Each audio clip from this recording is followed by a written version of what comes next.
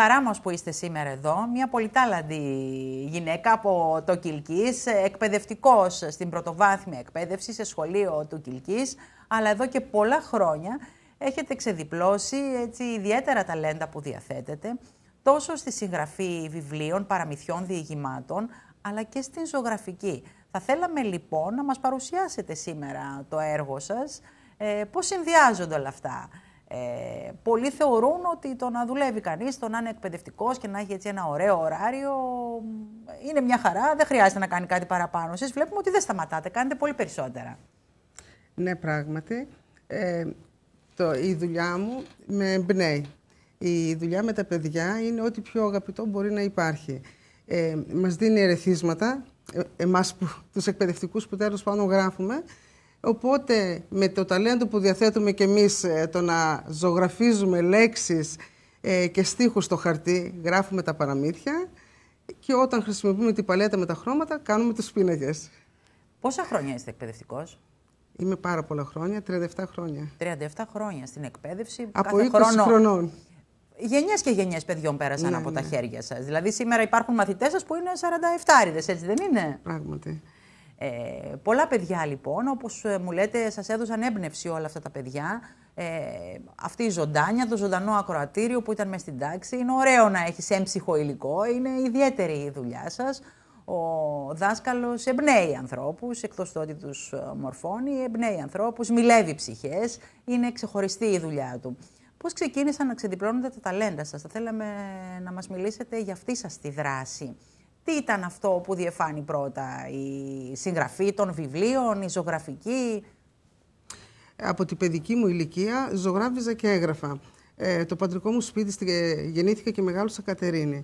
Είναι δίπλα σε ένα ποτάμι, οπότε τα παιδικά μου χρόνια τα πέρασα ε, στις όχθες του ποταμού, παίζοντας στα σπιτάκια, στους αμόλοφους, με τα βατραχάκια, τους γυρίνους και όλα αυτά.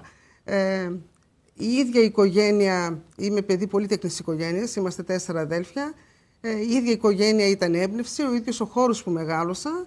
Ε, οπότε και το επάγγελμα που επέλεξα παιδαγωγός, ε, η Παιδαγωγική Ακαδημία ήταν δύο χρόνια. Εγώ έκανα τέσσερα χρόνια την εξομοίωση, στην πορεία όσο δούλευα. Ε, μου έδωσε τα ερεθίσματα για να συνεχίσω και να βγάλω έξω αυτό που έκανα. Να πω την αλήθεια ότι ζωγράφιζα, έκανε εκθέσεις πριν ε, δημοσιευτεί κάποιο βιβλίο, πριν βγει κάποιο βιβλίο. Πρώτα λοιπόν η ζωγραφική σας κέρδισε. Ναι, αλλά ο Λάζαρος ο Παυλίδης, ο συγγραφέας του Κιλκής, ε, ε, ο αείμνηστος πλέον, ε, όταν ήρθε σε κάποια έκθεση ζωγραφικής και μου έλεγε διάφορα μπροστά σε κάθε έργο, του είπα και εγώ δειλά ότι γράφω και ζήτησε να διαβάσει τα παραμύθια μου. Όταν α, μου τα επέστρεψε, μου έγραψε μια πολύ καλή κριτική και μου είπε συγκεκριμένα ότι μετά τα παραμύθια του Γκριμ δεν έχω διαβάσει εγώ ωραιότερα παραμύθια. Και ο ίδιο, πολύ τιμητικό. Ο ίδιος είχε προτείνει τότε τα ελληνικά γράμματα και το πρώτο παραμύθι που εκδόθηκε ήταν οι Ολυμπιακοί Αγώνες ε, ταξιδεύουν στο διάστημα. Και ακολούθησαν πολλά. Και οι ακολούθησαν Ολυμπιακοί πολλά, Αγώνες ναι. ταξιδεύουν στο διάστημα. Ο Χαμελέοντας, ο Βάτραχος Ξεναγός, ένας αστέρι πέφτει πέφτει.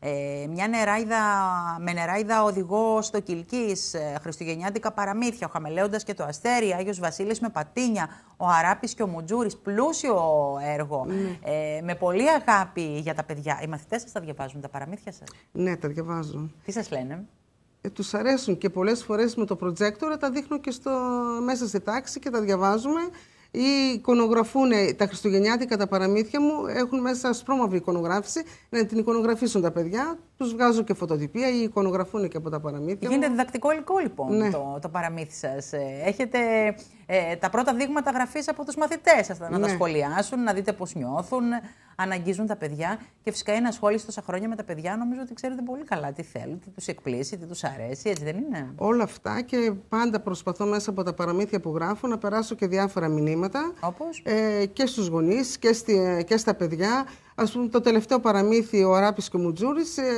είναι η φιλία δύο σκυλιών. Το ένα είναι σκυλί της οικογένειας και το άλλο είναι δέσποτο σκυλιού και στο τέλος υιοθετεί η οικογένεια το σκυλάκι και δίνονται και οδηγίες πώς θα γίνει η υιοθεσία. Ε, εδώ ήταν η, το μήνυμα για την υιοθεσία των αδέσποτων σκυλιών, γιατί όλοι ξέρουμε ότι ένα δέσποτο έχει πολύ λίγο χρόνο ζωής ε, στον δρόμο, ε, είτε θα το πατήσει κάποιος, σκυλί, ε, κάποιο αυτοκίνητο ή θα το δηλητηριάσουν και όλα αυτά. Ένα άλλο παραμύθι που έχω γράψει είναι ο δράκος Καρελφίνος που επιμελείται και θα βγει τώρα ε, την ημέρα του παιδικού καρκίνου.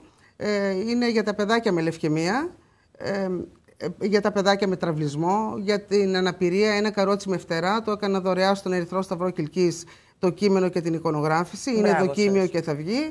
Ε, και τα βιβλία τώρα ε, παρουσιάστηκαν στην Γαλερή Γκοβεδάρου ε, που γίνεται έκθεση ζωγραφικής που συμμετέχω και εγώ με και άλλους καλλιτέχνες. Έσοδα των, ε, των πωλήσεων, των πινάκων θα πάνε στο άσυλο παιδιού εδώ στη Θεσσαλονίκη, όπως και τα βιβλία μου 7 του μηνός θα τα παρουσιάσω στο άσυλο του παιδιού και έγινε παρουσίαση και στην Γαλερή Γκοβεδάρου και τα έσοδα των βιβλίων θα πάνε στο άσυλο παιδιού.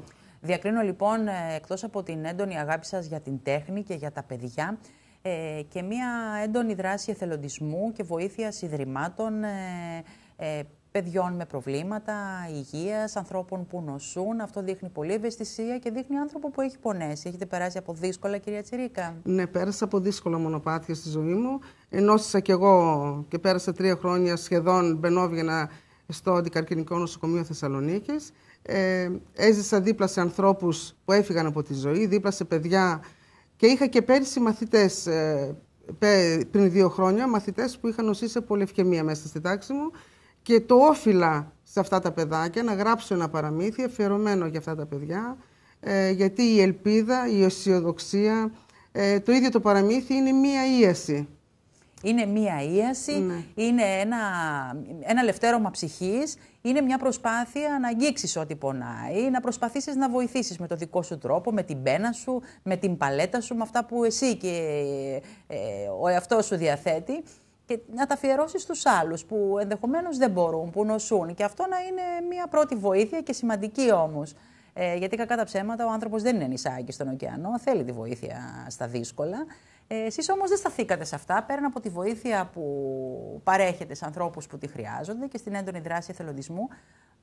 Αμέσως μετά την περιπέτεια της υγείας σας που ξεπεράσατε, θέλατε να βελτιώσετε επιπλέον και τις σπουδές σας. Ε, επιλέξατε να σπουδάσετε και στη Σχολή Καλών Τεχνών. Μια εξαιρετικά δύσκολη mm. σχολή πενταετούς φίτηση. Είναι σχολή πενταετούς φίτηση. Ε, ήδη ζωγράφιζα και έκανα εκθέσεις. Ε, τη λατρεύω τη ζωγραφική. Το πάθος μου είναι και η ζωγραφική και η γραφή. Ε, το κάθε κομμάτι είναι ένα κομμάτι της ψυχής μου. Ε, οπότε πήγα στη Σχολή Καλών Τεχνών στη Θεσσαλονίκη, τελείωσα. Οι καθηγητές μου ήταν ο κύριος Σκυλογιάννης και ο κύριος Μορταράκος. Ε, η αλήθεια είναι ότι μου ανοίχτηκαν άλλοι δρόμοι μετά τη Σχολή Καλών Τεχνών. Ε, συμμετείχα σε εκθέσεις στο εξωτερικό, δύο ατομικές στη Βιέννη, Μόντρεαλ, στην Καλερί Μάντη στο Μιλάνο. Έχω επελεχθεί. Ευρωπαϊκή για... δρόμη, μεγαλύτερη ναι. Δρόμη, μαζί με διακεκριμένους ε, ανθρώπους, με διακεκριμένους ε, οικαστικούς. Μετά φυσικά και την ε, απαραίτητη γνώση και τα εφόδια που λάβατε από τους δασκάλους σας και τις σπουδές σας.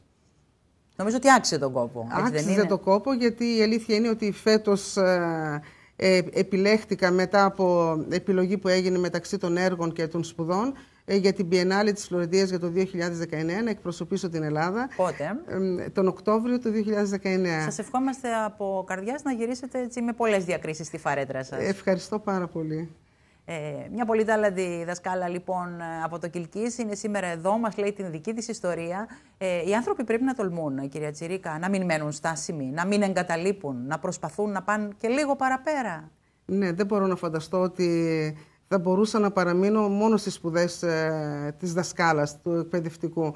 Ε, πάντα με ενδιέφερε η περαιτέρω μόρφωση, ε, με ενδιέφερε να ανοίξω άλλους δρόμους και έπειτα ε, νομίζω από τη φύση, δε, κάποιος δεν λέγεται εκπαιδευτικός τελειώνοντας ε, και παίρνοντας ένα πτυχίο πριν 30 χρόνια. Ε; Πριν 30 χρόνια. Πρέπει να είναι ενημερωμένος σύμφωνα με τα νέα δεδομένα, ε, με την εποχή που αλλάζει ε, και έπειτα ένας εκπαιδευτικός ε, πρέπει να δίνει από πολλές πλευρές ε, στο παιδί αλλά και στην κοινωνία. Και κάτι άλλο που το έχω σαν αρχή, ε, επειδή από μικρή και εγώ θαύμαζα τους συγγραφείς και τους ζωγράφους, θεωρώ ότι και εμείς, η γενιά που ζούμε σήμερα, ε, πρέπει να δουλέψουμε γι' αυτό, να βρούνε κάτι οι επόμενες γενιές. Είτε είναι στο θέμα της τέχνης, της ζωγραφικής, είτε στη λογοτεχνία. Να αφήσουμε το αποτύπωμά μας, λέτε, σε αυτό το πλανήτη, σε αυτή τη γη. Μα θα πρέπει, δεν θα πρέπει και τα παιδιά τα δικά μας ε, των επόμενων γενεών να βρούνε κάτι. Εμείς βρήκαμε, μελετήσαμε, ε, διαβάσαμε και βιβλία, είδαμε τέχνη, τα μουσεία είναι γεμάτα, ε, στην Ευρώπη, στην Ελλάδα. Δεν θα πρέπει κάτι να έχουν και οι επόμενες γενιές. Θα... πρέπει να αγωνιστούμε γι' αυτό. Εμείς τουλάχιστον που ασχολούμαστε με αυτό το κομμάτι. Είναι μεγάλη αλήθεια αυτό που λέτε. Έχετε εμπνεύσει τους μαθητές σας με επισκέψεις σε γκαλερί, σε μουσεία, σε εκθέσεις ζωγραφικής; Ναι, μπορώ να πω ναι και παραμύθια γράφουμε και ζωγραφίζουν ε, οι μαθητές μου καταπληκτικά. Ε, και κάτι άλλο, φέτος ε, έγινε το πρώτο φεστιβάλ παραμυθιού στη Θεσσαλονίκη, ναι. ε, στην οδό Κλεισούρας ε, και κορυφώθηκε τώρα τα Χριστούγεννα με τις αφηγήσεις χριστουγεννιάτικων παραμυθιών. Ήμασταν τρεις γυναίκες ε, με παραμύθια, ε, η Θενοπούλου η Μαρία, εγώ η Τσίρικα η Αθηνά και η Ελλήνη Νέλβη. οπότε είχαμε δώσει την ευκαιρία και σε άλλους που γράφουν παραμύθια να έρθουν να μας τα παρουσιάσουν. κάποιοι ήρθαν και με μουσικά όργανα, με την ομάδα τους, τα παρουσίασαν στα παιδάκια, είχαμε εργαστήρια ζωγραφικής, δηλαδή όλο αυτό που κάνουμε ε, που κάνω και εγώ, το έχουμε κάνει σε δράση εθελοντικά, εννοείται χωρίς να πληρωθούμε, ήταν εντελώς εθελοντική βάση, σε συνεργασία με τα μαγαζιά σύντησης, με το Μαλλιάρι Παιδεία, ε, με γκαλερί και με δήμους. Κυρία Τσιρίκα, ποιο, ποιο είναι ο μεγαλύτερος τίτλος τιμής για μια δασκάλα όταν ε, αποσυρθεί από το επάγγελμα. Ε, θα σας πω ότι μου έλεγαν άλλοι εκπαιδευτικοί που έχουμε μιλήσει γι' αυτό. Ε, έλεγαν ότι θέλω όταν με βλέπουν οι μαθητές μου να μην αλλάζουν πεζοδρόμιο. Να έρχονται και να μου λένε μια καλημέρα. Για εσά, τι είναι τίτλος τιμής, αν τελειώσει αυτός ο κύκλος, αν βγείτε στη σύνταξη. Ε, σίγουρα να έρθουν να με αγκαλιάσουν και συμβαίνει αυτό στα παιδιά, γιατί είμαι χρόνια εκπαιδευτικός. Ε, έχουν περάσει από τα χέρια μου και έχουν αριστεύσει μαθητές, γιατροί, μηχανικοί, φιλόλογοι, εκπαιδευτικοί. Ε, και Λέτε μάλιστα... με χαρά ότι ήταν μαθητής μου, έτσι ήταν, Ναι, και όταν τα παιδιά μου τους ρωτούσαν, ήταν με αυστηρή μαμά και έλεγε, απαντούσαν εκείνοι, ναι, ήταν εκεί που έπρεπε. Αν δεν ήταν αυστηρή στο βαθμό που έπρεπε και δεν μας αγαπούσε και εμείς δεν θα ακολουθούσαμε το δρόμο αυτό να σπουδάσουμε. Ε, σίγουρα θα με χαροποιεί αυτό το πράγμα να συναντώ τους ε, μαθητές μου και τους συναντώ. Και όταν τους συναντώ, να με αγκαλιάζουν, να με φιλούν και να μου δείχνουν και αυτή την αγάπη τους. Όπως και εγώ τα λατρεύω τα παιδιά όλα αυτά που πέρασαν από τα χέρια μου. Θα θέλατε κάποιος να ακολουθήσει το δρόμο της τέχνης; Ναι. Και να είναι μετά από δική σας έμπνευση; Ναι, φυσικά. Πάρα πολύ θα ήθελα. Και τα παιδιά τα δικά μου ε, και οι μαθητές μου.